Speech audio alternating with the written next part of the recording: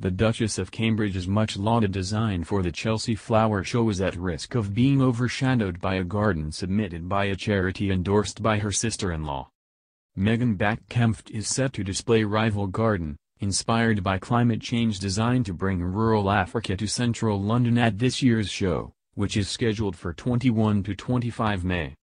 The organization, which supports the education of girls, is supported by the Duke and Duchess of Sussex, with Meghan meeting with the charity's Africa director on International Women's Day earlier this month.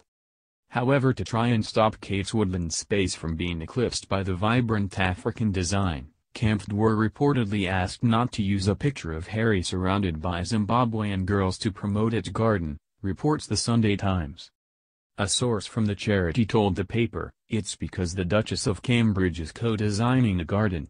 The palace is worried about mixed messaging.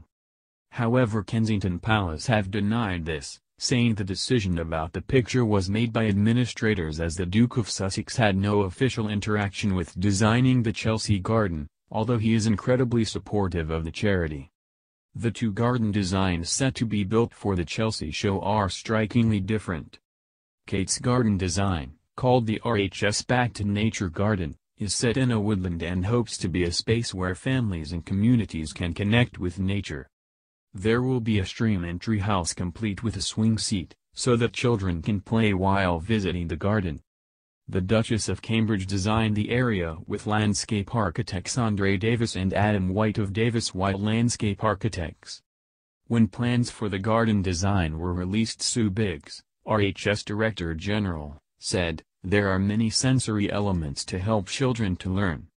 Active play in the fresh air is also important for a child's development and getting back to nature has been shown to be good for developing creativity, increasing physical activity and reducing stress. On the other hand, the vibrant and bold Camfed Eco Garden, designed by Jilayne Rickards, will use plants with edible fruit, flowers, leaves or roots, to show the importance of horticulture as a source of food and income in Zimbabwe. Ems Rickards was inspired to create the space by the people she met during a trip to Zimbabwe and in particular a woman called Beauty. The charity's website explains how Beauty runs her own farming business after using educational and training opportunities opened up to her by Camfed. The Sunday Times reports that after Meghan appeared with the charity's Africa director Murimirwa on International Women's Day visits to their website doubled. After the May show, Camfed's garden will move to the Eden Project in Cornwall. Kate is also set to design two more RHS gardens with a landscape architect for displays at RHS Hampton Court and RHS Garden Wisley in Surrey later this year. The two royal couples have faced rumors of a rift in recent months with news being announced earlier this week that their households will split. The Queen has agreed to the creation of a household for the Duke and Duchess of Sussex and given permission for it to be based at Buckingham Palace. As part of the shake-up, Harry and Meghan have named PR guru Sara Latham, who has worked for Bill and Hillary Clinton, as their new head of communications. The new household is likely to be created following the birth of the couple's first child, expected in April. However the royal couples will still work together and make joint appearances. Last week Meghan and Kate had two engagements together at the Commonwealth Day service at Westminster Abbey.